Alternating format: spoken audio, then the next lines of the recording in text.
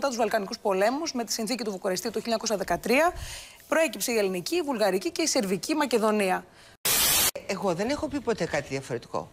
Εγώ έλεγα από την αρχή και σε εσάς και σε όλον όποιον ήθελε να με ακούσει ότι η λύση για τα Σκόπια είναι σύνθετη ονομασία, έργα όμνες και Με τον όρο Μακεδονία. Ναι, ναι.